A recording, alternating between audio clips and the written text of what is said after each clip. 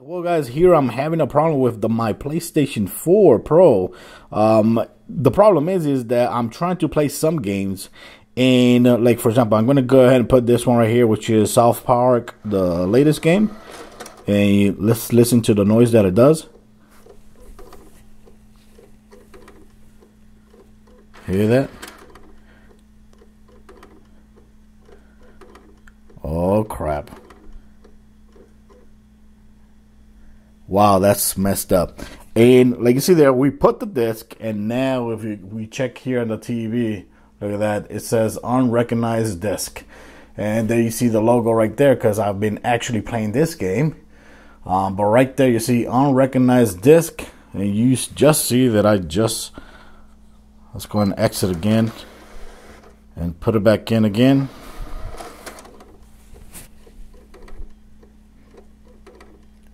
I've been checking some uh, some steps to take on how to fix this problem, which I'm gonna be taking now. See if it actually fixes the problem. And yep, there you go. Look at that. Again, not recognized. Oh God, that's really, really, really sucks. Um, so what I'm gonna do is I'm gonna put this game, the system, I'm gonna push it, um, turn it off right? Let's go and turn it off completely. Boom. Ah, okay. You know what? Let's go ahead and take the disc out and turn it off completely by pressing and holding twice. Let it beep twice. There you go. So right now it's turning off. There you go. It's turning off completely. It's off. Gonna wait for this to go off. And now we're gonna go ahead and put it on safe mode. Dun, dun, dun. Now this is the first time it happens to me because I've owned uh, the original. I did buy the original PlayStation 4 Pro, the 4. Never had a problem.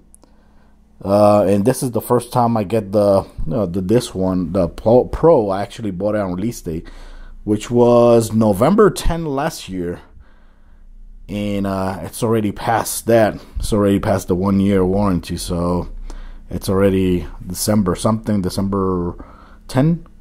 Okay, so there you go. Now it's completely off. So we're gonna go and put this on safe mode.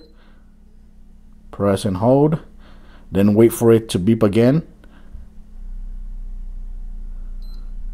There you go. Beep twice. So now it should go to safe mode. But now we go, yeah, see there, it's on safe mode.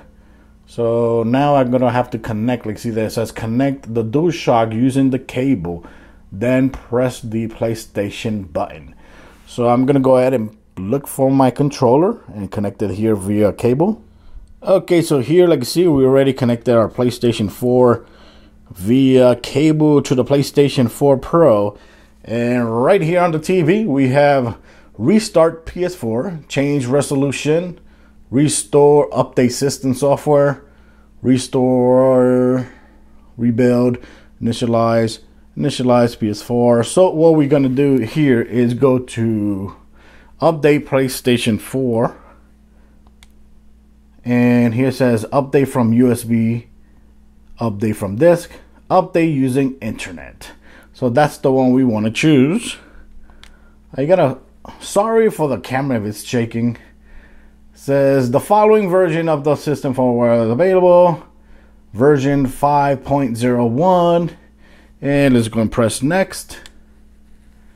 So yeah, I'm gonna go ahead and try to do this. Um, of course, I already my PlayStation 4 already has the that update, but sometimes I've heard that sometimes the when the update is not done properly, um, you might get this error.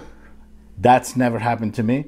So what I'm gonna do is try to let this finish and then we'll be back. Okay, so we just finished the update and you know, right after the update, the PlayStation 4 will automatically restart.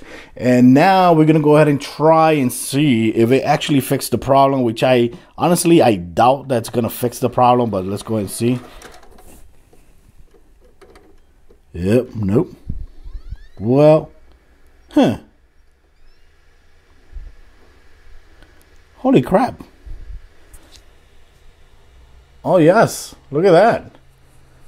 So the game is now recognized and we do not hear you see there we do not hear the PlayStation 4 driver going off.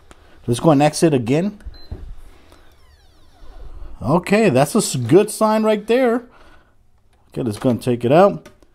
Let's go put back again.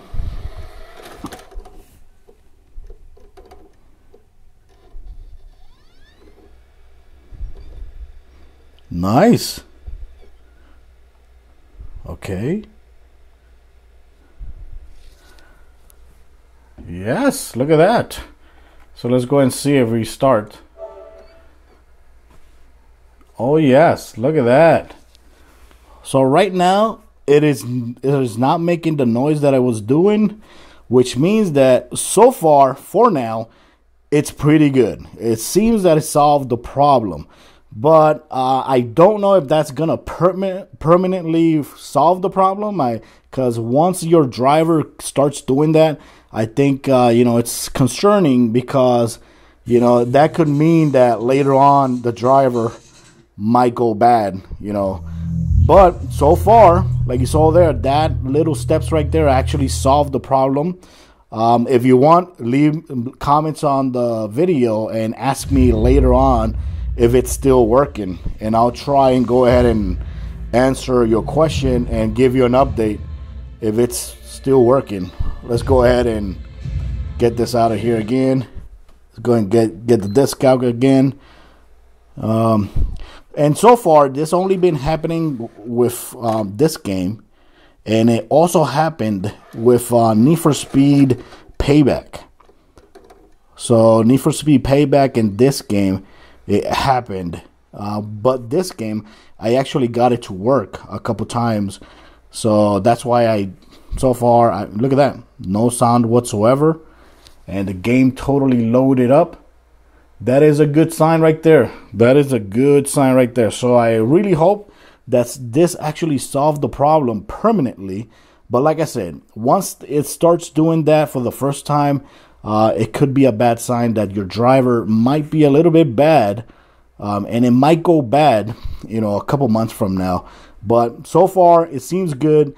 If you want, hit me on the comments and and I'll let you guys know if it's still working or not, if it actually solved the problem permanently. But so far, it's been working for me. So if you have this problem, all you got to do is um, put your PlayStation 4 in safe mode. Once you put it on safe mode, just choose to re-update your software. Once you do that, it's going to restart and it should solve the problem just like it did for me. But I'll let you know if it actually solves the problem uh, for a long time. Let's see how long this actually lasts. But so far for now, it seems like, like the problem is actually fixed. Thanks for watching the video, guys. Till next time.